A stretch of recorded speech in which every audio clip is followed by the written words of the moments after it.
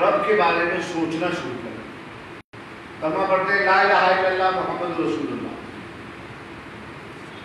میرے پاس وہ لوگ آتے ہیں، میں اپنی سوچ میں آپ کو بتا رہا ہوں۔ ہر آدمی اپنی سوچ رکھتا ہے، آزاد ہے۔ ڈیموکریٹک کنٹری ہے۔ میں آپ کو اپنی سوچ بتاتا ہوں، ہو سکتا ہے آپ کی سوچ الگ ہو۔ لوگ آتے ہیں، ہم خانقاہ والے ہیں چونکہ خانقاہ والوں کا بڑی بدنامی ہے۔ اگر آپ نے ظاہر کر دیا کہ آپ خانقاہ والے ہیں یا آپ کا یہ جرم ہے کہ آپ خانقاہ میں پیدا ہو گئے؟ تو معلوم ہے کیا؟ لوگ آپ سے اللہ کے بارے میں نہیں آئیں گے۔ لوگ آپ سے رسول اللہ کے بارے میں نہیں آئیں گے۔ لوگ لوگ اپنی تھوڑی اور ڈھونگی بات جسے وہ جنات سے تعبیر کرتے جسے وہ آسے کرتے ہیں جسے پتہ نہیں کس کی تعبیر کرتے ہیں اس کے اتارے کے لیے آئے اللہ اللہ میں بتاؤں بتانا آج مجھے بولا آج میں بولوں آپ سے آج بتاؤں آج میں بولنے میں بیٹھا ہوں ہاں آج بولنے میں حضرت گرامی خانقاہ میں کبھی خانقاہ میں پوچھو کہ توحید کسے کہتے ہیں اتنے جلسے ہو جاتے ہیں بارہویں کا جلسہ گیارہویں کا جلسہ چھٹی جلسہ محرم کا جلسہ اور کیا نہیں ہوتا ان میں توحید کا ذکر نہیں ہوتا اللہ کا ذکر نہیں ہوتا اللہ کی محبت نہیں ہوتی ارے میاں تمام جو سب کی محبتیں اضافی ہیں حقیقی محبت سے اللہ تعالیٰ ہے اس بات کو جان لینا اس بات کو سمجھ لینا اللہ تبارک و تعالیٰ کی محبت نہیں آپ کی بنیاد کھوکھلی آپ کا عقیدہ کھوکھلا اور آپ جو ہے اصلی معرفت اور حقیقت اور طریقت اور شریعت تک پہنچ ہی نہیں پائیں میں سمپل الفاظ میں عرض کر رہا ہوں۔ کلمہ لا الہ الا اللہ، محمد رسول اللہ۔ آپ کو معلوم ہے، زیادہ موٹی کتابوں کی ضرورت نہیں ہے۔ میں موٹی کتابوں کو مواد بیان نہیں کروں گا۔ لا الہ الا اللہ، محمد رسول اللہ، جیسے اب جو لوگ ہم لوگ جاتے ہیں، آج کل مالس میں سپر مارکیٹ میں، وہاں پہ کوئی چیز خریدی، پھر ان کے، اس کے اوپر نا ایک بار کوڈ ہوتا ہے بار کوڈ اور ایک جو کیشیئر ہوتا ہے، اس کے ہاتھ میں ایک الیکٹرانک مشین ہوتی ہے اس سے کہتے ہیں بار کوڈ ریڈر وہ بار کوڈ کے اوپر رکھتا ہے؟ وہ اس کو سینس کر کے اور اس کا جو قیمت ہے، اس کو کمپیوٹر میں فیڈ کرتا ہے، اس سے ہمارا بل نکلتا ہے. ہے نا؟ بلا تشبیہ اور بلا تفصیل میں آپ کو بتاؤں کہ کلمہ یہ ڈیوائن کوڈ ہے۔ دو جملے ہیں، دو کلمے ہیں۔ لا الہ الا اللہ اور محمد رسول اللہ۔ یہ دو کلمے ہیں، دو کلمے۔ سمجھ رہے ایک حصہ یہ، ایک حصہ یہ۔ کوئی معبود نہیں اللہ کے سوا اور محمد اللہ کے رسول ہیں۔ اور یہ کوڈ ہے کوڈ جو ہر مسلمان کو دیا گیا ہے کہ تم کو یہ فالو کرنا ہے۔ اس کا مطلب کیا ہوا معلوم ہے؟ اس کا مطلب یہ ہوا اگر کوئی پہلے کھڑا ہو گیا مار کے بٹھاتے ہیں؟ اگر کوئی مائک میں نماز پڑھا رہا ہے فتوا دے کر اس کو جہنم نکال دیتے ہیں مسجدوں سے۔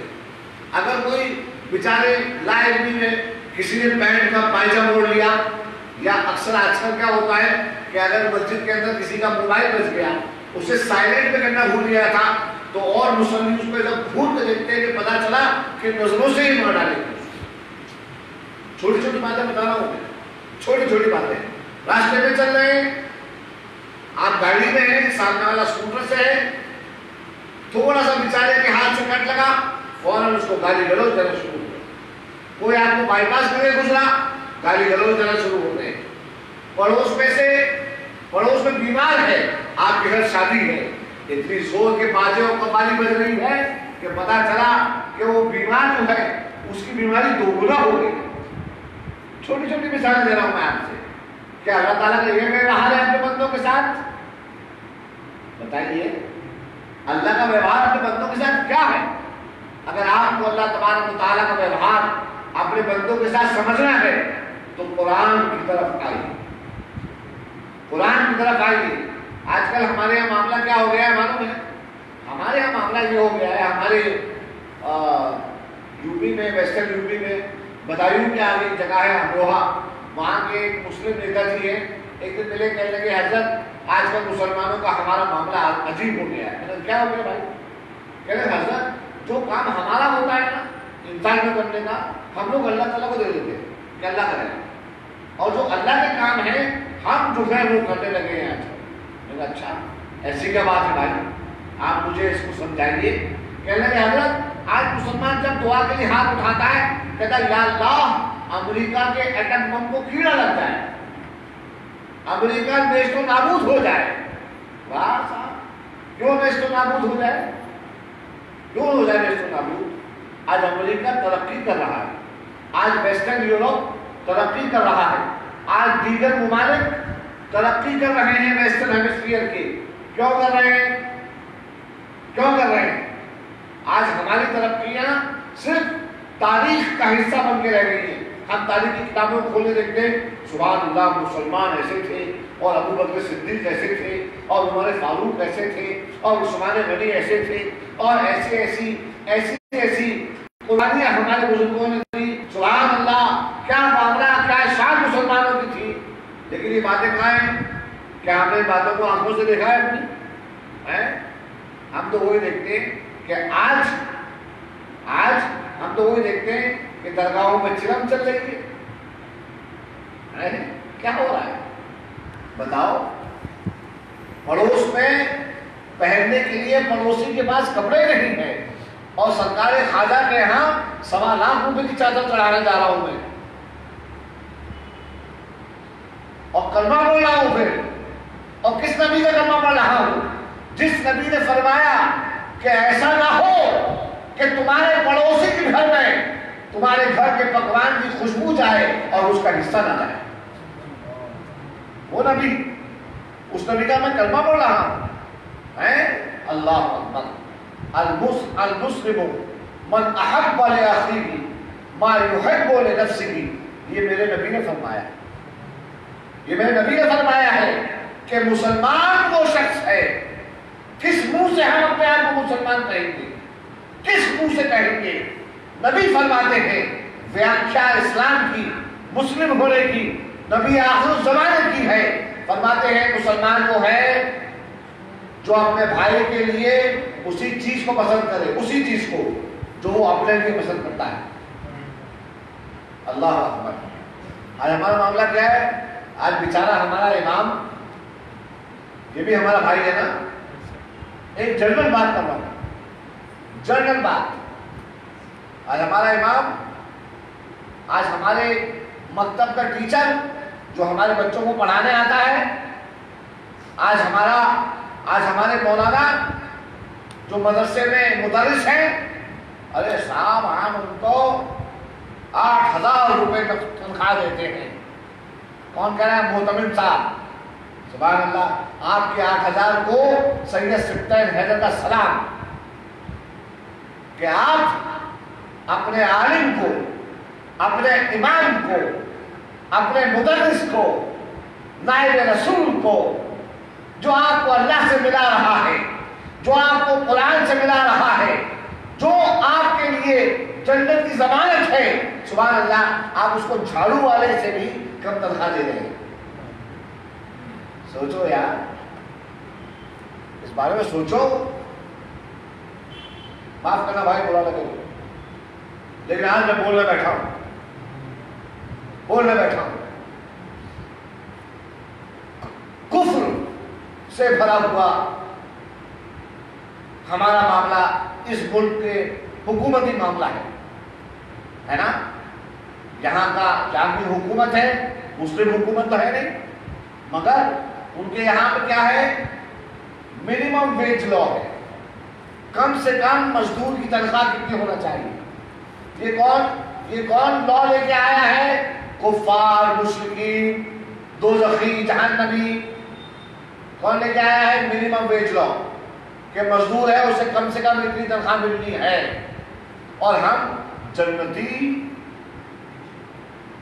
ہورے جنہیں ہورے ملیں گی، غلمان ملیں گے، جنت کے محل ملیں گے، بڑے ہدایت یافتہ ہیں ہم۔ اور ہمارا کام کیا ہے؟ سبحان اللہ۔ ہمارے بس چلے تو جو ہمارے ٹیوشن پڑھانے بچوں کو آتے ہیں، قرآن۔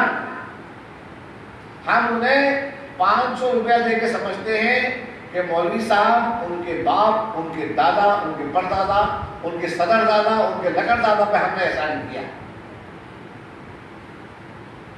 برا لگے تو دو روٹی زیادہ کھانا۔ اور حق لگے تو کل سے اپنے ویوہار کو بدل لینا آج تم کہتے ہو کہ مسلمان کی عزت نہیں۔ آج تم کہتے ہو کہ مسلمان کسی قسم کے اقتدار میں نہیں ہے۔ ہمیں کوئی دوسرا پوچھتا نہیں ہے۔ ارے میاں، تمہیں کون پوچھے گا؟ تم نے اپنی مسجدوں کی عزت کی؟ بتاؤ۔ تم نے اپنی درگاہوں کی عزت کی ہر چیز میں تمہاری پالیٹکس ہے۔ ہر چیز کے اندر تمہاری سیاست ہے۔ مسجد ایک کمیونٹی سینٹر ہوا کرتا تھا بزرگوں کے دور میں۔ اللہ اکبر۔ آج آج تو کچھ بولنا ہی بیکار ہے۔ کچھ بولیں گے تو اس کا کچھ اور مانا ملا جائے گا۔ حضرت گرامی ایک بات یاد رکھیں کہ زمین کسی کے باپ کی نہیں ہوتی ہے۔ آج میں کہوں کہ میرا میرا باپ آل رسول، اتنا بڑا افسر گورنمنٹ کے اندر۔ میرا دادا عالم مصطفیٰ، اتنے بڑے عالم دین۔ لہذا لوگوں کو میرے بھی ہاتھ چننا چاہیے۔ تو جو عقل والا ہوگا نا، وہ کہنا میاں سکتے ہیں، باپ بے شک آپ کے بڑے، دادا بے شک بڑے۔ مگر یہ بتائیے میاں کہ آپ کیا ہیں؟ آپ کیا ہیں؟ آپ کیا کام کر رہے ہیں؟ زمین کسی کے باپ کی نہیں ہوتی ہے، زمین اس کی ہوتی ہے۔ اللہ تعالیٰ اپنی زمین کا اقتدار اور بادشاہت اور حکومت اسے دیتا ہے جو زمینی کام کرتا ہے۔ میں تو بالکل مسلمانوں کے نام بتاؤں۔ جو لوگ سنت رسول پہ چلے۔ یا تم لوگ فتوا لگاؤ گے میرے اوپر۔ آج فتوا تو ملے گا تو سنو، ایک کا نام ہے محمد داس کرم چند گاندھی ہاں۔ ایک کا نام ہے سسٹر ایگنس۔ یوگوسلاویا کی رہنے والی تھی۔ کلکتے میں آ کے بسی۔ اسے تم اس کے نام سے نہیں جانتے ہو، اس کے لقب سے جانتے ہو۔ نوبل پیس پرائز کی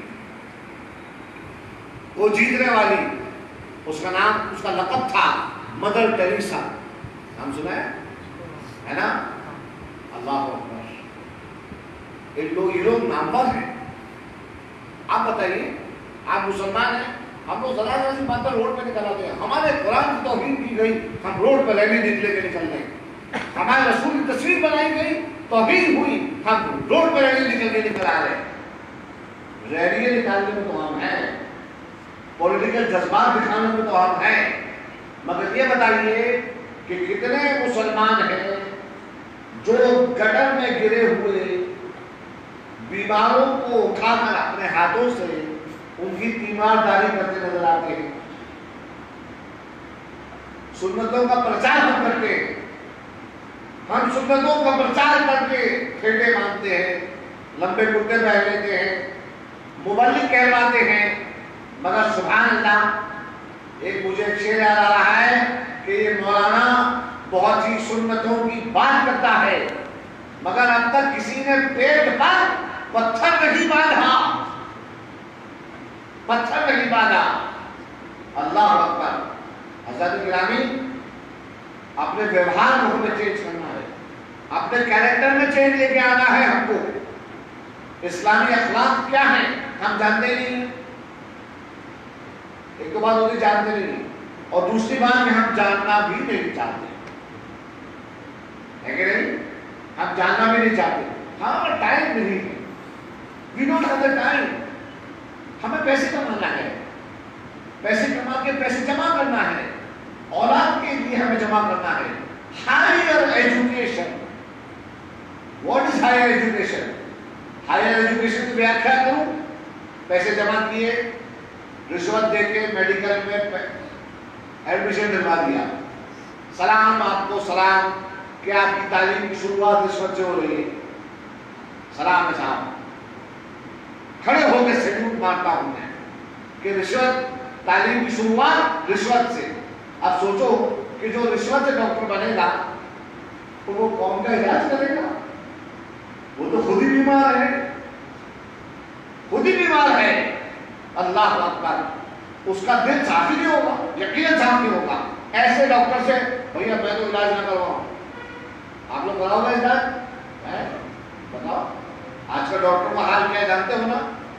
ابھی دسمبر میں میں بیمار پڑا، میں آئی سی یو میں تھا۔ آئی سی یو کے اندر سے جو میرا ڈاکٹر تھا، میں اس کو سن رہا تھا۔ رات کے ایک بجے۔ رات کے ایک بجے وہ ڈاکٹر دوسرے ڈاکٹر سے کہہ رہا تھا، ارے سر، آپ کو معلوم ہے آج کل نان انویسو پروسیجر کو پبلک بہت پریفرنس دیتی ہے۔ یعنی پبلک کوشش یہ کرتی ہے کہ اگر ہمارا کوئی معاملہ آ جائے آپریشن کا، تو ایسا کوئی رستہ مل جائے کہ آپریشن نہ کروانا پڑے۔ تو پھر کہنے لگا، فلانی انسٹیٹیوٹ ہے انگلینڈ کے اندر جو لوگ اسپیشلائزیشن کرواتے ہیں۔ نان انویسو پروسیجر میں۔ کہ بغیر آپریشن میں کام نکل جائے۔ آپ ہے نا وہاں پہ بھیجیے اپنے بچے کو اور وہاں سے آپ کا بچہ آئے گا تو ملینز آف ڈالرز کمائے گا۔ میں نے کہا سبحان اللہ۔ ہمارے رسول نے ہمیں سکھایا اچھا کام کرو، اللہ تعالیٰ تمہیں ملین ثواب عطا فرمائے گا۔ ہے نا؟ آج ہم لوگ کا کنسپٹ بدل گیا ہے میرے بھائی۔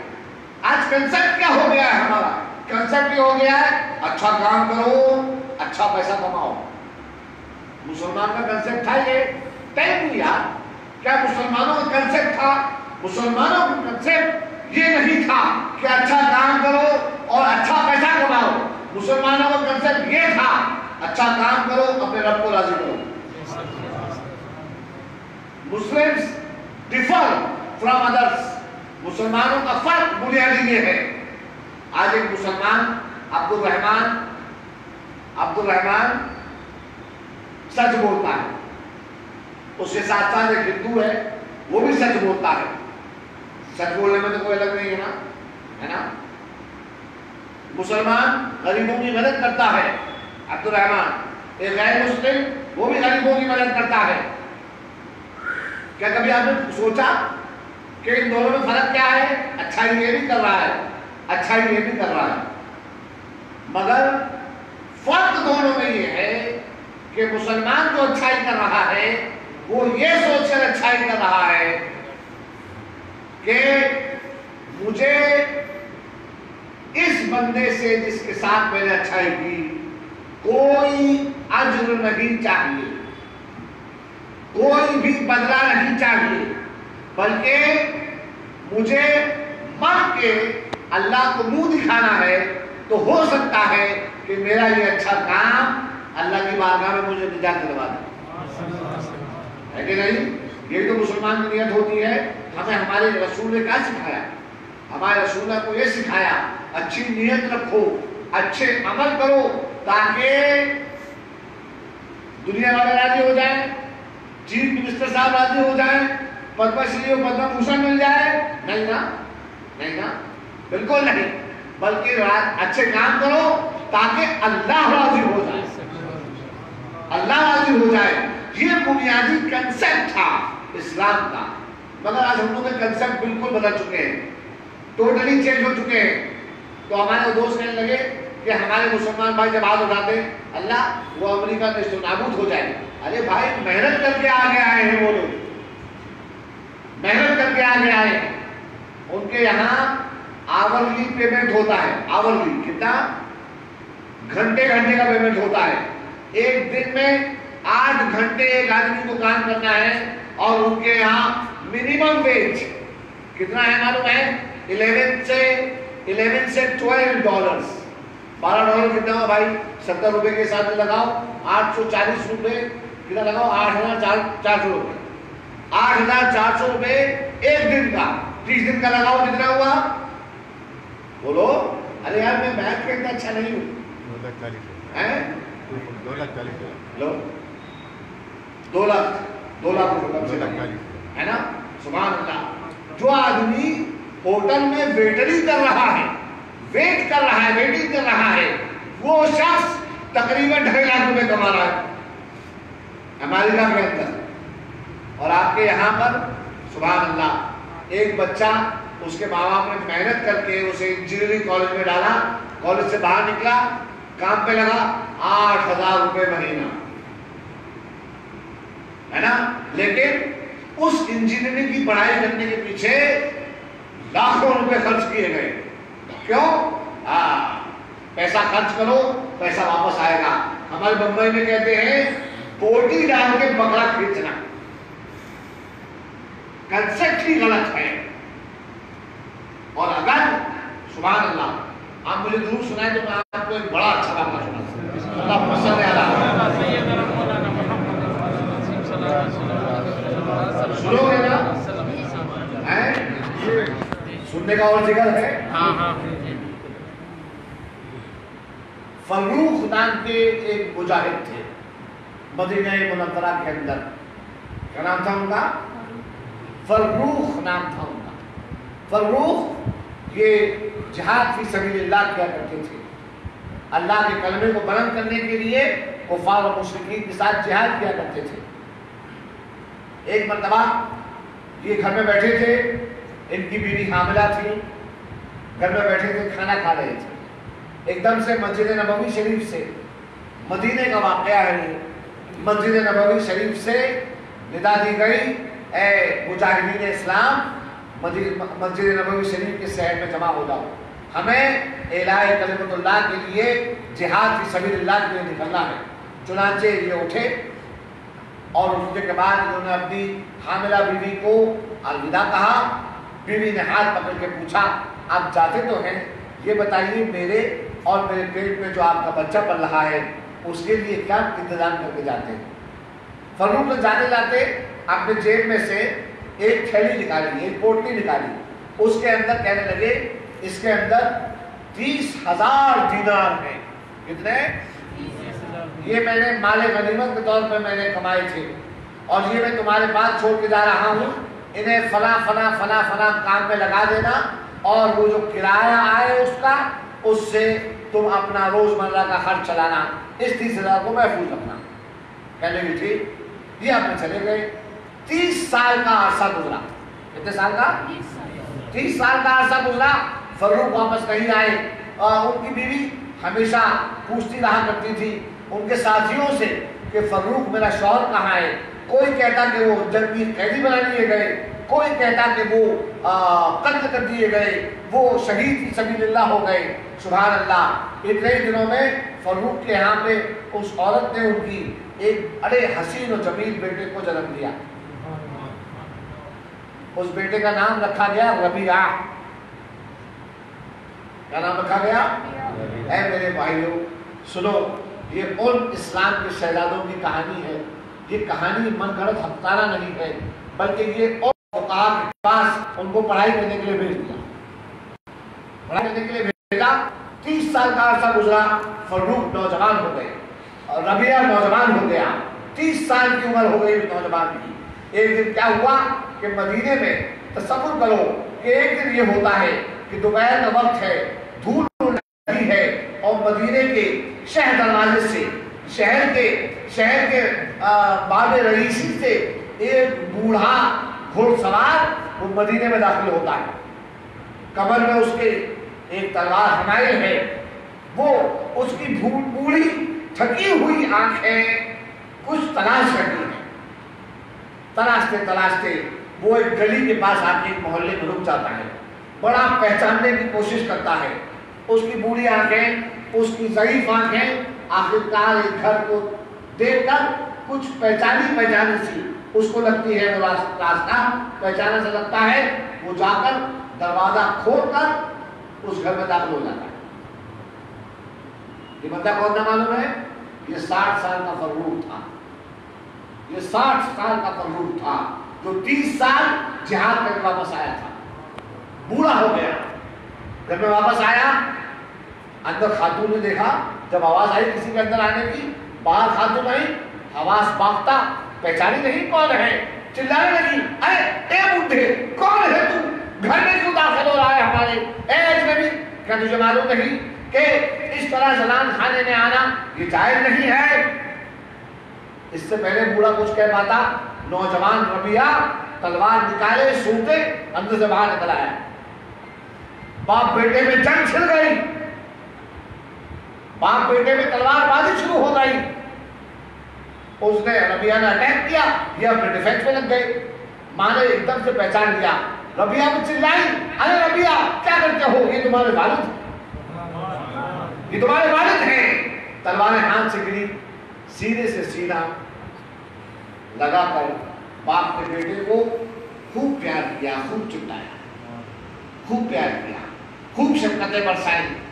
اس کے بعد کھانا ہوا۔ کھانا ہونے کے بعد رات ہوئی سو گئے۔ صبح میں باپ کو فروخ کو اٹھنے میں تھوڑی دیر ہو گئی۔ تھوڑی دیر ہو گئی۔ فجر کی نماز گھر میں ادا کرنا پڑی۔ فجر کی نماز گھر میں ادا کر کے انہوں نے مسجد نبوی شریف کا راستہ لیا کہ چلو سرکار کے روزے میں جا کے حاضر دے آئے۔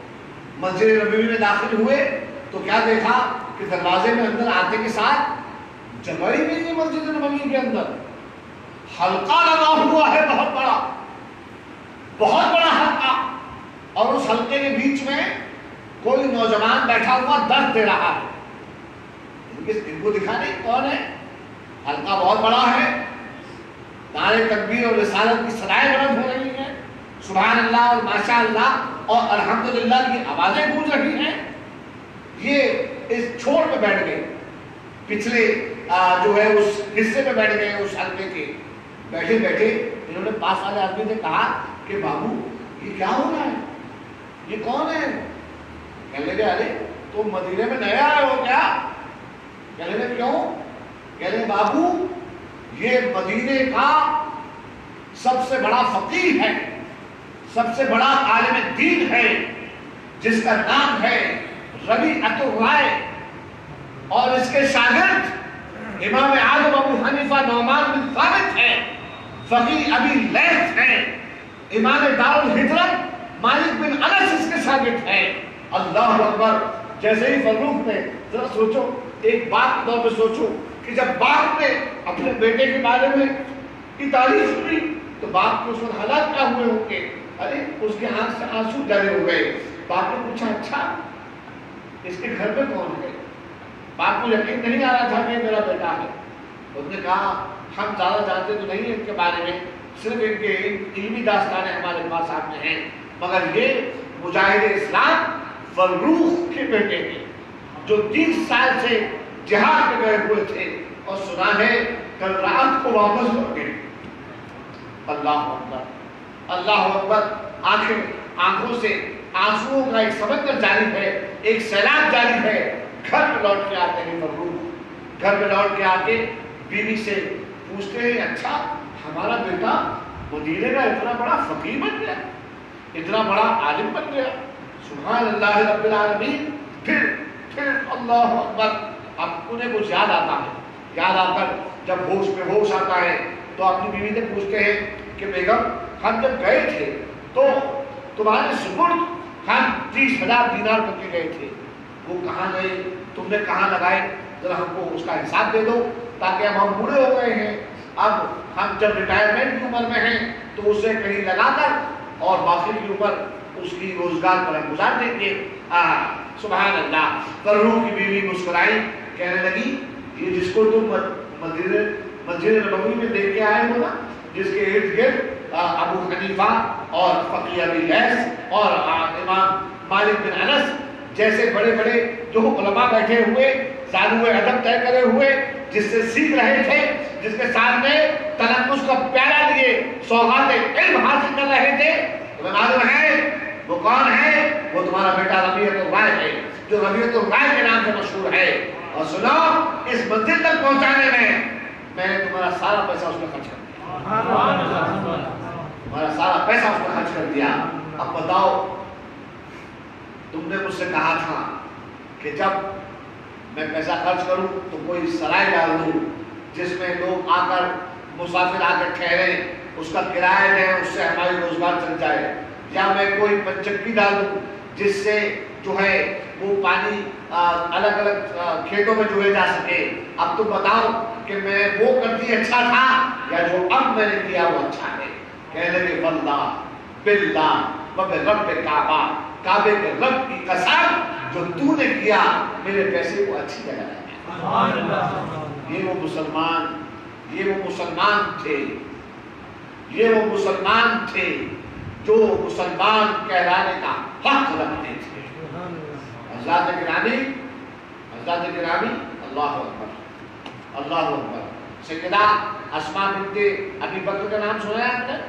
آپ لوگوں کو ابھی تک اسلامی خواتین کے کردار کے بارے میں معلوم نہیں، ان کے کیریکٹر کے بارے میں معلوم نہیں۔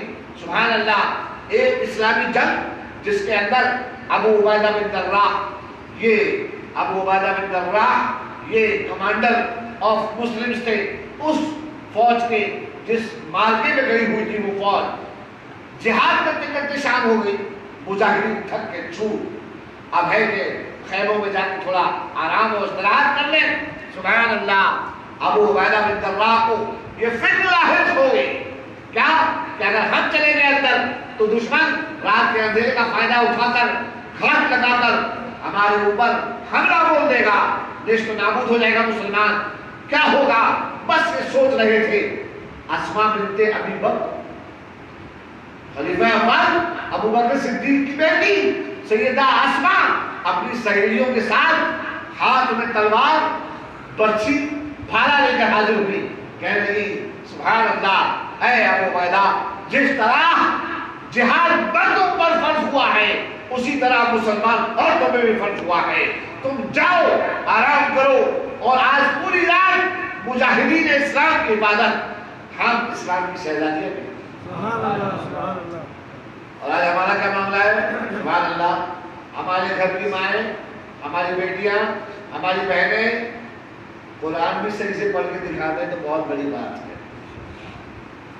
اللہ اکبر پورا معاملہ بگڑا ہوا ہے۔ اور ان معاملات کو جب تک آپ اپنے دل پہ نہیں لیتے، تب تک کچھ نہیں ہونے والا۔ حضرت آپ کی چھوٹی سٹی ہے بوئسر میں چاہتا ہوں کہ آپ اس کو ایک ماڈرن مسلم سٹی بنا کے دکھائیں گے۔ آپ لوگ ایفرٹ کریں۔ ورنہ بارہویں کر رہے ہیں، ٹھیک ہے سما ملے گا، اللہ عالم۔ گیارہویں کر رہے ہیں سما ملے گا، اللہ عالم۔ مگر جس روش پہ ہم لوگ جا رہے ہیں، اس روش پہ نہ تو مسلمانوں کا کوئی فائدہ ہے اور نہ ہمارے معاشرے میں کوئی بدلاؤ آ رہا ہے۔ سب سے پہلی بات جس پہ میں آپ لوگوں کو تاکید کرنا چاہتا ہوں وہ یہ ہے کہ اپنے دل سے یہ بد عقیدگی نکال دیجیے کہ اسلام دل میں ہونے کے باوجود، ایمان دل میں ہونے کے باوجود کوئی شے آپ کو پکڑ سکتی ہے۔ سنو، میں آپ سے اپنی خاندانی سرد کی حدیث بیان کر رہا ہوں۔ یہ حدیث میرے اجداد نے، جس میں نسلن بادہ نسلن آل نبی ہیں۔ اس کی منتہا، اس کے مسند حضرت امام علی رضا ہے مسند اس کے حضرت امام علی رضا ہے ہندوستان میں جو میری سند ہے اس کی۔ اور امام علی رضا کون ہیں؟ آل رسول ہیں۔ مشہد ایران میں آپ کا مزار ہے۔ مشہد میں۔ لیکن بڑے افسوس کی بات یہ ہے کہ ہم جو روڑ وادی اور کٹر وادی ہے ہم لوگ کہتے ہیں یہ سب تو شیعوں کے امام ہیں۔ کوئی نہیں جاتا ان کی بارگاہ میں۔ اس کی وجہ سے معلوم کیا ہوا؟ اس کی وجہ سے یہ ہوا کہ آج رسول کے فیض سے ایک بڑا میجورٹی طبقہ مسلمانوں کا محروم ہو گیا۔ الحمدللہ میں وہاں پہ حاضر ہوا تھا۔ سیدنا امام علی رضا علیہ السلام کے بارگاہ میں حاضر ہوا تھا۔ اور سبحان اللہ۔ وہاں کا جو حرم شریف ہے، حضرت امام علی رضا کا کون کون مدینہ گیا ہے مجھے بتا دیجیے مدینہ کون کون گیا ہے؟ اللہ تعالیٰ سب کو مدینہ لے جائے بار بار لے جائے مدینہ۔ ہاں۔ اور مدینہ کے صدقے میں، نبی کے صدقے میں اللہ آج آج نبی کی بارگاہوں میں بھی جو ہے، ہم سب بار بار آتے ہیں۔ مسجد نبوی کا آپ نے سہن دیکھا ہے؟ آپ نے حرم دیکھا ہے؟ ادھر یہ آپ کا باب البقی ہے ہے نا؟ اور پیچھے سامنے اس کے باب السلام ہے آپ باب السلام سے داخل ہوئے سرکار کے روزے کے پاس آئے، حاضری دیتے ہوئے باب البقی سے باہر نکلے یہ ہے نا ایسے ہی ہے نا؟ ہے نا اس طرح کے سات حرم پار کرنے کے بعد امام علی رضا کا روزہ آتا ہے۔ روز وہاں پر پندرہ سے بیس ہزار لوگوں کا لنگر ہوتا ہے، جس میں فائیو سٹار سے بھی اچھے انتظامات کر کے ان کو لنگر کھلایا جاتا ہے، لنگر آل رسول۔ جو لفٹ ہے، لنگر کھانے تک جانے کی اس ایک ایک لفٹ میں پچاس معاف کیجیے گا، پچاس پچاس لوگ ایک ایک لفٹ میں آتے ہیں۔ سوچو کتنی بڑی لفٹ ہوگی جس میں پچاس لوگ آ جاتے ہیں۔ ہے کہ نہیں؟ ہے نا؟ سبحان اللہ۔ امام علی رضا اتنے خوبصورت تھے۔ اللہ تعالیٰ نے ان کو ان کو اتنی پیاری اور موہری صورت بنایا تھا کہ اپنے چہرے پر ہمیشہ نقاب پڑے رہا کرتے تھے۔ نقاب ڈالے رہا کرتے تھے اپنے چہرے کے اوپر۔ اللہ اکبر۔ جب ایران میں جگہ ہے، جس کا نام ہے نیشا پور۔ نیشا پور جو جگہ ہے، سبحان اللہ، ہمارے محدثین، ہمارے فقہا، ہمارے اولیاء، ہمارے بڑے اکابر ہمارے اکابر ان سب کی آماز گاہ ہے نشا پور۔ نشا پور میں جب حضرت امام علی رضا کا، علی رضا کی آمد آمد ہوئی آپ اپنے گھوڑے پہ سوار، اپنے خدان کے ساتھ جب نشا پور میں آئے، تو جتنے لوگ ہیں، یہ نہیں کہ آج ہی سادات کو محبت کی جاتی ہے۔ سادات سے محبت اس زمانے سے ہے۔ ارے، آج تو نسل ہے ہم لوگ۔ وہ لوگ اصل تھے۔ یہ اصل آل رسول جو اصل ہے ہماری۔ جو جڑ ہے ہماری۔ سبحان اللہ، جب وہ داخل ہوتے ہیں، نشاپور کے اندر، لوگ چمٹ پڑتے ہیں۔ قدم پکڑ لیتے ہیں۔ یا ابن یا ابن رسول اللہ ابن رسول اللہ آ گئے۔ رسول اللہ کے بیٹے آ گئے۔ رسول اللہ کے نواسے آ گئے۔ سبحان اللہ علماء نے فوراً روکا۔ علماء نے کہا، رکو، یہ ادب کے خلاف ہے۔ یہ آل نبی ہیں نبوت ختم ہو چکی ہے۔ لیکن ان کے سینے میں نبوی فیضان جاری و ساری۔ نبوی نبوی علوم ان کے سینے نبوی علوم کے محافظ ہیں، اس کے امانت، وہ امانت ان کے سینوں میں رکھی ہے۔ ایک کام کرو، ان سے وہ بات سنو جو بات تمہاری نجات کا پروانہ بنے۔ لوگوں نے ادب اختیار کیا، علماء نے بڑھ کر دس بوسے قدم بوسے کر کے دریافت کیا۔ سرکار ہمیں کوئی ایسی بات بتا دیں جو ہمارے لیے نصیحت ہو جائے اور جو ہمارے لیے نجات ہو جائے، امام علی رضا نے سبحان اللہ، رخ زیبا پہ سے وہ اپنا نقاب اٹھایا اور ارشاد فرمایا ان ابھی انا انا علی رضا۔ انا علی رضا۔ ان ابھی موسیٰ القادر ان ابھی ہی الامام جعفر بن صادق۔ ان ابھی الامام محمد الباقر۔ ان ابھی الامام علی زین العابدین عن ابھی السبت الحسین عن ابھی الامام الامام بابو مدینة العلم سیدنا علی بن ابی طالب. عن عن علم عبده سیدنا رسول اللہ صلی اللہ تعالی علیہ وآلہ وسلم. قال قال اللہ تعالی لا الہ الا اللہ حسنی فمن دخل حسنی حفظ من عذابی او کما قال رسول صلی اللہ علیہ وآلہ وسلم۔ فرماتے ہیں امام علی رضا کہ میں روایت بیان کرتا ہوں۔ اپنے باپ امام موسیٰ قادر سے۔ وہ روایت بیان کرتے ہیں۔ اپنے باپ امام جعفر صادق سے۔ وہ روایت بیان کرتے ہیں۔ اپنے باپ حضرت امام محمد باقر سے۔ وہ روایت بیان کرتے ہیں اپنے باپ امام علی زین العابدین سے۔ وہ روایت کر بیان کرتے ہیں اپنے باپ حضرت سیدنا امام حسین سید کربلا سے۔ وہ روایت بیان کرتے ہیں اپنے باپ سیدنا امام علی بن ابی طالب سے۔ وہ روایت بیان کرتے ہیں آقا کریم علیہ السلام سے کہ رسول اللہ صلی اللہ علیہ وآلہ وسلم نے ارشاد فرمایا کہ اللہ تعالیٰ نے مجھ سے کہا، مجھ سے ارشاد فرمایا۔ کیا فرمایا اللہ تعالیٰ نے؟ اللہ تعالیٰ نے فرمایا، یہ کلمہ لا الہ الا اللہ، میں نے اپنی بات کہیں شروع کی تھی۔ لا الہ الا اللہ سے، کلمہ طیبہ سے میں نے اپنی بات شروع کی تھی۔ اگر آپ کو یاد ہو، فرماتے ہیں، لا الہ الا اللہ، حسنی، اللہ فرماتا ہے، اللہ کہہ رہا ہے اپنے بندوں کو سنا رہا ہے۔ اے رسول، جا کے تم بتا دو ہماری مخلوق کو کہ یہ جو ہمارا کلمہ لا الہ الا اللہ ہے یہ ہمارا الہ ہے الہ کیا ہے فورٹ الہ ہے۔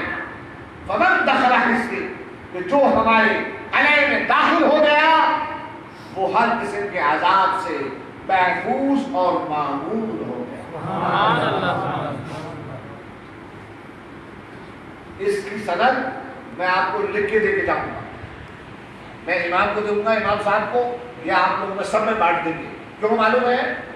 کیونکہ امام اہل سنت، مجدد دین و ملت جبل الاستقامت کنز الکرامت سیدنا و مولانا و بفضل اللہ اولانا امام احمد ابن حنبل رحمت اللہ تبارک تعالیٰ اس حدیث کی صنعت کے بارے میں ارشاد فرماتے ہیں کہ اس حدیث کی صنعت میں صرف آل رسول ہیں۔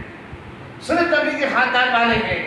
فرماتے ہیں، اگر کوئی دماغی خلل والا مریض ہو، اور اس حدیث کی تو خیر قدر و قیمت الفا اور اعلیٰ ہے، بالا تر ہے۔ فرماتے ہیں، اس حدیث کی صنعت اے آل رسول کا سلسلہ، صرف ان کے نام پڑھ کر اگر بیمار اور مریض کے کان میں درد کر دیے جائیں تو اللہ کے حکم سے وہ شفا پا جائے اور ایز اے گفٹ بوکسر والے اپنے خوش عقیدہ مسلمان بھائیوں کو ایک ہدیے کے طور پر، میں فقیر ہوں، میں آپ کو روپیہ پیسہ آپ کی نظر نہیں کر سکتا، مگر ہاں میں یہ بتا سکتا ہوں کہ جو میرے پاس اپنے بزرگوں سے تبرکات آئے ہیں، وہ میں آپ کو ثبوت کر کے جا سکتا ہوں۔ کیوں؟ یہ میں خاص طور پر یہ سند آپ لوگوں کو اس لیے ثبوت کر کے جاؤں گا۔ گھر میں بیماری، ہاری بیماری آتی رہتی ہے۔ اللہ کا حکم ہے، جب تک زمین کے اوپر زندہ ہیں، تکلیفوں سے دنیا کی تو گزرنا ہی پڑے گا۔ ان تکلیفوں سے گزرو گے، تبھی زمین کے نیچے آرام پاؤ گے۔ یاد رکھنا، زمین کے اوپر ملی ہوئی تکلیفوں پر کبھی شکوا مت کرنا، کبھی زبان میں مت لانا کہ میری قسمت میں کیا ہوا، اللہ نے یہ کیا لکھ دیا، میرے ساتھ کیا ہو گیا۔ ان تمام باتوں سے اللہ ناراض ہوتا ہے۔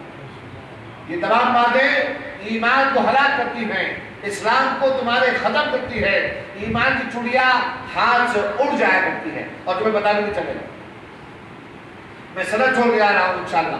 یہ سنت چھوڑ کے اپنے بوسر کے خوش عقیدہ مسلمانوں کے لیے سنت چھوڑ کے جا رہا ہوں، تاکہ کوئی بھی اگر بیمار ہو تو تمہیں کسی بھی علم خلم بابا کی ضرورت نہیں پڑے۔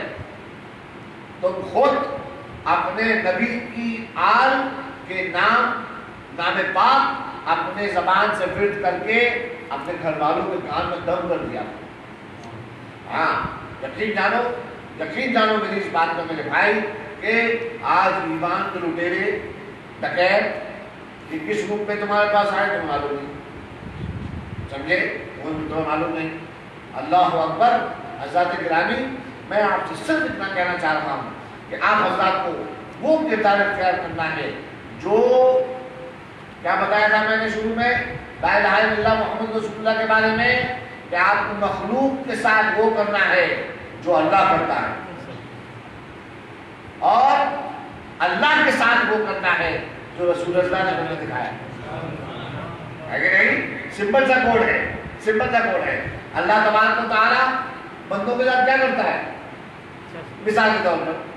مثال کے طور پر، اگر کسی بندے نے، ہم تو چلو ہم ہو تم تو مانتے ہیں، کسی نے کہہ دیا میں تجھے نہیں مانتا۔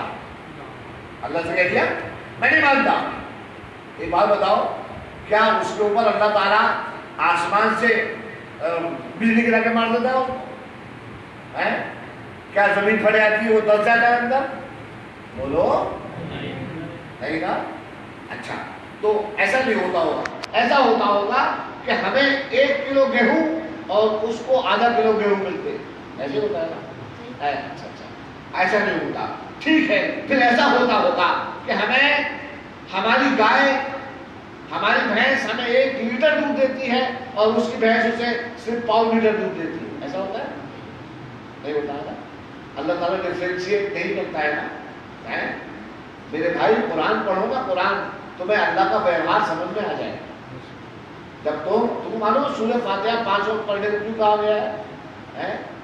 سورہ فاتحہ اس کے جو علمی رموز ہیں، وہ اپنی جگہ پر ہیں۔ سورہ فاتحہ در اصل اس کو بار بار پڑھنے کا، اس کو بار بار پڑھنے کا حکم اور پانچ مرتبہ آپ تمہیں پانچ نمازوں میں آپ کو پڑھنا ہے سورہ فاتحہ۔ کیوں پڑھنا ہے معلوم ہے؟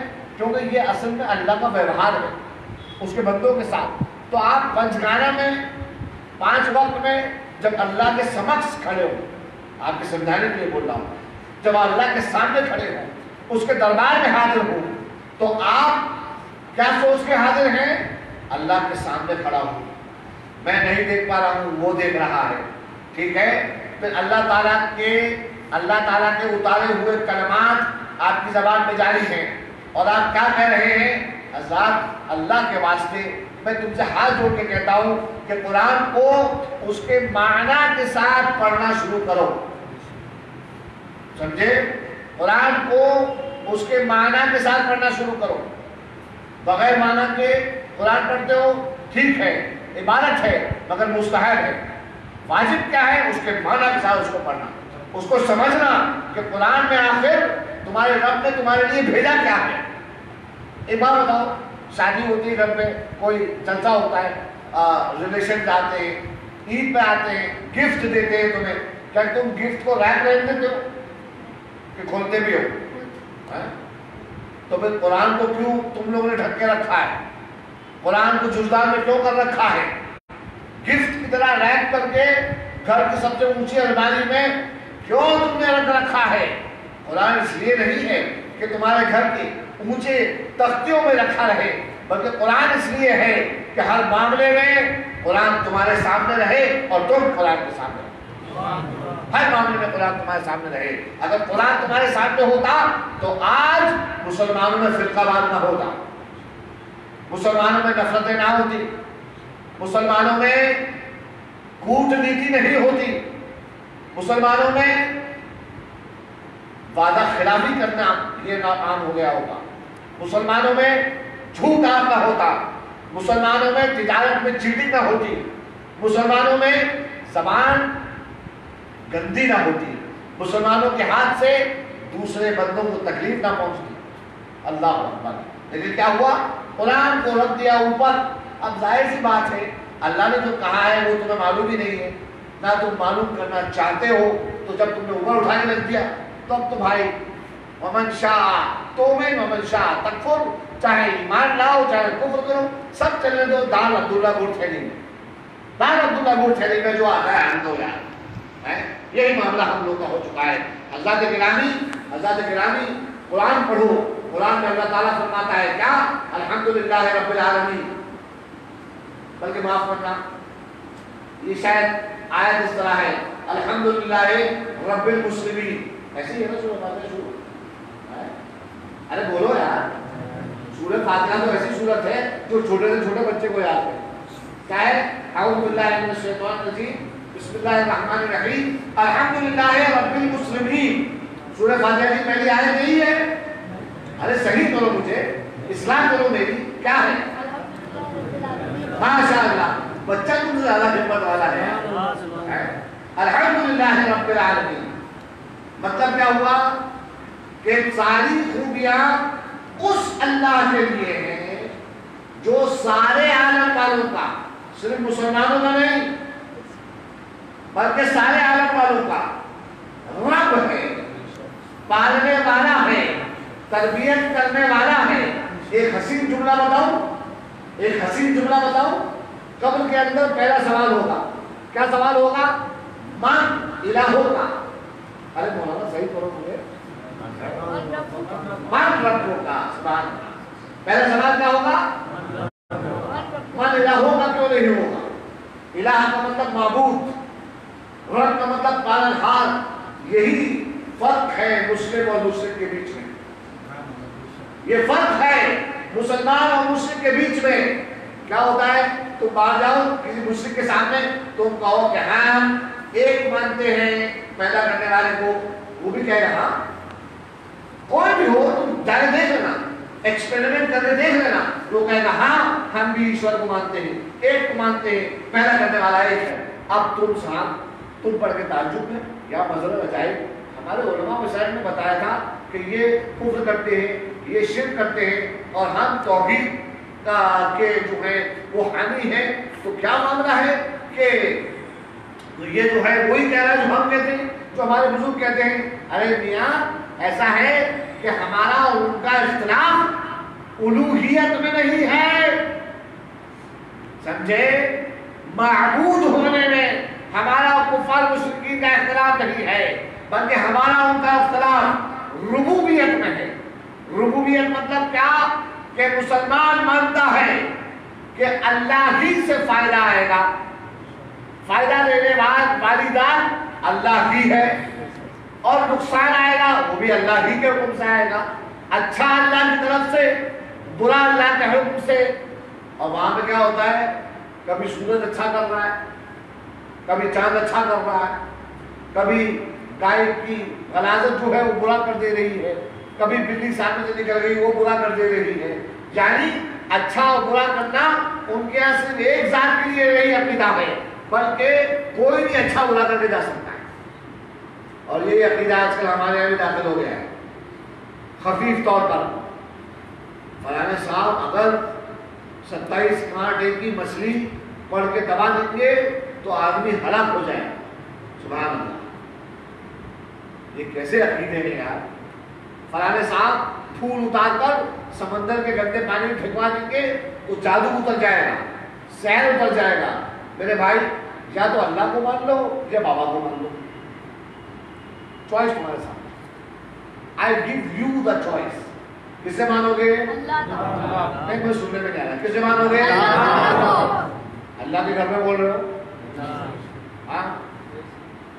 میں مزے کا واقعہ سنو آخر میں۔ سنو گے۔ سنو گے۔ کہنے کے بابا نظر لگ گئی ہے کچھ کر دو بابا. اچھا صاحب کیا کرتے ہو؟ بابا وہ میں ٹھیلے پہ ریکڑی پہ بریانی بیچتا ہوں. اچھا اچھا۔ کہاں رہتے ہو؟ وہ بابا بہرام پاڑا میں وہ جھوپڑ جھوپڑی نمبر اکتالیس ہے نا وہاں پہ رہتا ہوں. اچھا اچھا۔ اب سنو ہندوستان کا سب سے غریب آدمی آپ لوگ جانتے ہو اس کو؟ مجھے پانی بتا ہندوستان کا سب سے غریب آدمی اس کا نام ہے انل امبانی۔ سب سے غریب آدمی۔ ستائیس مالے کی بمبئی میں کولابا میں اس نے بلڈنگ بنائی۔ جس بلڈنگ کے پہلے چار مالے اس کی گاڑیوں کی پارکنگ ہے بہت غریب ہے بیچارے ہندوستان میں سب سے غریب آدمی ہے؟ سب سے غریب۔ چار مالے کار پارکنگ کے۔ اوپر دو ہیلی پیڈ جس کے اوپر ہیلی کاپٹر اترتا ہے۔ کیا غربت کا عالم ہوگا اس کا؟ گھر کے اندر رہنے والے صرف چھ لوگ ہیں، فیملی کے اندر۔ لیکن غربت کا عالم یہ ہے کہ ستائیس مالے کی بلڈنگ بنانی پڑی۔ اس کو کوئی نظر نہیں لگ رہی۔ اس کو کچھ نہیں ہو رہا۔ اس کے یہاں کوئی بابا نہیں دکھتا۔ مگر آپ بہرام پاڑا کی اکتالیس نمبر کی جھوپڑی میں رہنے والے ریکڑی پہ بریانی بیچنے والے آپ کو ساری دنیا نظر لگائے پڑی ہے کیا آپ کی جھوپڑی کے باہر نیبو اور مرچیں لٹکتی رہے ہمیشہ۔ اور بابا آ کے بار بار کرتا رہے۔ ذرا سوچو، آپ پہ ایسا کیا کمال ہے کہ آپ پہ نظر لگے گی بھائی؟ آپ ایسا کیا معاشرے میں ڈفرینس کر رہے ہیں؟ آپ کچھ کر رہے ہیں؟ آپ پرائم منسٹر ہیں؟ آپ چیف منسٹر ہیں ارے میاں آپ معمولی سا جو میونسپلٹی کا کلرک ہے، آپ اس کے پاس تو بغیر اپوائنٹمنٹ کے جا نہیں سکتے. یہ آپ کی حیثیت ہے دنیا کی. تو آپ جو ہیں، اس کے بعد یہ کہتے مجھے نظر لگ گئی تو صحیح سکتے ہیں کہ وہ بڑی ہنسی آتی بہت ہنسی آتی ہے شاباش. شاباش صاحب. آپ ہی رہیں گے نظر رکھنے کے لیے. کلمہ پڑھنے کے بعد جو یہ بدعقیدگی رکھے کہ مجھے یہ ہوگا، وہ ہوگا، فلانا ہوگا، تو بھائی تم انل امبانی بنتے ہو جاؤ آزاد ہو، جاؤ۔ اس اندھ وشواس اور سپرسٹیشن کی وجہ سے میں نائنٹی نائن پرسینٹ کیس کے بارے میں بول رہا ہوں۔ میں اس کا انکار نہیں کر رہا کہ اثرات نہیں ہوتے، مگر اللہ بچائے اثرات سے۔ توبہ کرتا ہوں میں، اور آپ سے بھی کہتا ہوں کہ توبہ کیجیے اللہ تعالیٰ سے۔ اللہ تعالیٰ بچائے اثرات سے۔ مگر نائنٹی نائن کیسز جو ہیں، جو ہمارے یہاں رپورٹ ہوتے ہیں، وہ سب فراڈولنٹ ہیں، وہ فراڈ ہے وہ معلوم کی وجہ سے ہوتے ہیں؟ سات لوگوں میں جھگڑا ہو گیا، بہو کو شوق کو لے کے گھر سے الگ ہونا ہے، گھر کے اندر حاضری بننا شروع کر کیا کیا حاضری بننا شروع کی، ساس اور شوہر پریشان، بابا کے بعد بھاگے۔ بابا کے منہ میں بہو کو کیا ہو گیا ہے؟ بابا نے دیکھا اچھا دو چار تیل کی چھیٹیں ماری۔ اور کیا بولتے بال پکڑ کے چمان مارا، پتہ نہیں کیا کیا کیا اللہ توبہ غیر شرعی معاملات سے۔ اور پھر اس کے بعد جو ہے وہ کہنے لگا اچھا ایک کام کرو، جیسے گھر سے باہر نکال تو صحیح ہو جائے گی۔ فلاں جگہ رکھ دو دوسری جگہ رہنے لگے، سکھ سے رہنے لگے۔ نام کس کا ہوا؟ بابا نے ہماری بہو کو صحیح کر دیا۔ پریکٹیکل بات بتا رہا ہوں پریکٹیکل آنکھوں دے کے حالات بتا رہا ہوں یہ ہمارے معاملات ہیں۔ درگاہوں پہ۔ ہم کیوں جاتے تھے درگاہوں پہ؟ ہمارے رسول نے ہمیں اجازت دی۔ ہمارے رسول نے ہم سے کہا کہ میں نے تمہیں پہلے روکا تھا کہ یہودیوں کی طرح تو جو وہ لوگ انبیاء کے یہاں جا کے تماشے کرتے تھے، اس طرح مت کرو۔ لیکن اب میں تمہیں اجازت دے رہا ہوں۔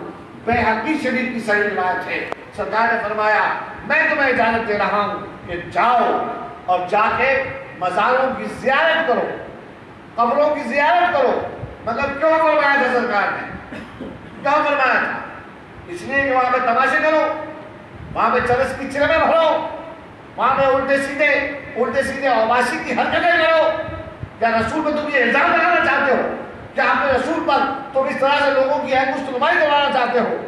بتاؤ، اللہ اکبر، یہ ہم کر رہے ہیں۔ درگاہوں میں جا کر۔ اور سرکار نے کیا کہا تھا؟ تمہیں درگاہ پہ جانا ہے، تمہیں مزار کی حاضری دینا ہے۔ کیوں؟ آخرت کو یاد کرنے کے لیے کہ بیٹے، آج تو زمین کے اوپر کھڑا ہے۔ ایک دن تجھے بھی اللہ کی بارگاہ میں اس منزل سے ہو کے جانا ہے۔ بری لگے دو روٹی زیادہ کھانا۔ دو روٹی زیادہ کھانا بری لگے بات کو۔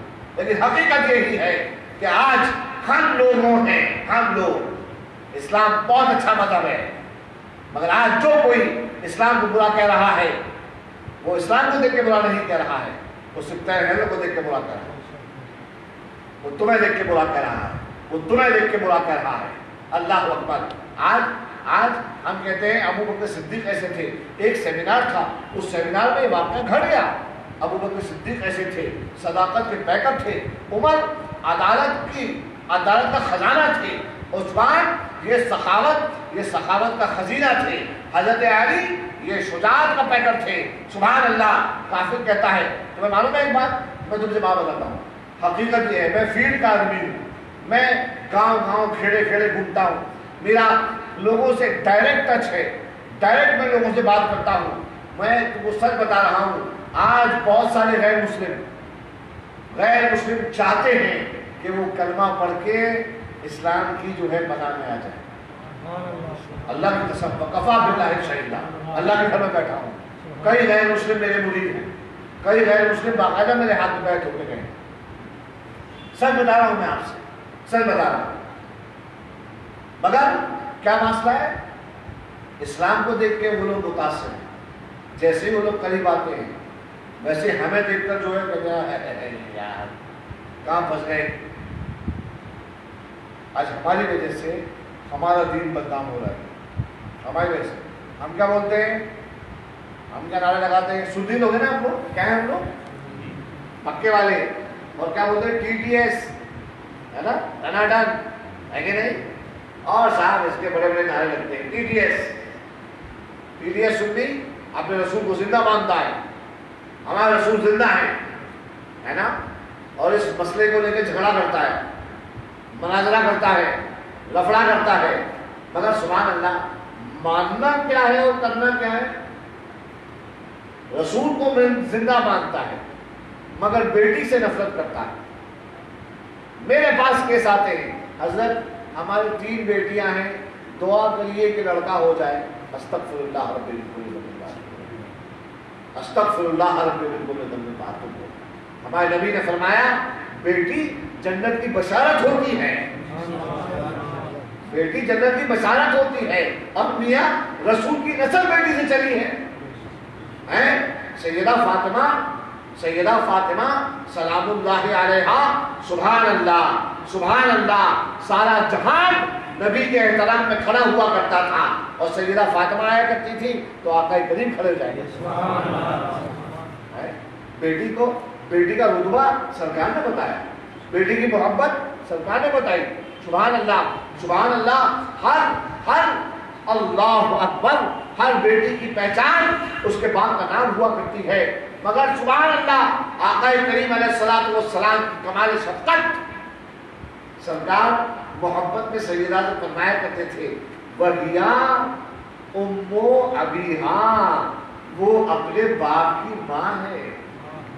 واہ واہ واہ۔ واہ، سینہ ٹھنڈا ہوتا ہے۔ کتابیں پڑھ کے، پھر آنکھ کھول کے پھر سے چلنے لگتا ہے۔